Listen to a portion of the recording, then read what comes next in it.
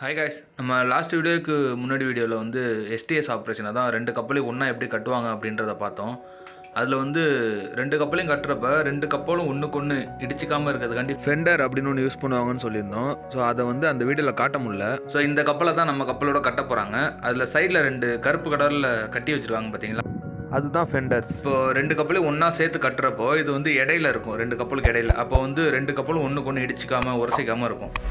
okay guys இந்த மாதிரி கப்பல் சம்மந்தமான வீடியோஸ் பார்க்க நம்ம சேனல் லைக் பண்ணுங்கள் ஷேர் பண்ணுங்கள் சப்ஸ்கிரைப் பண்ணுங்கள் பாய் காய்ஸ்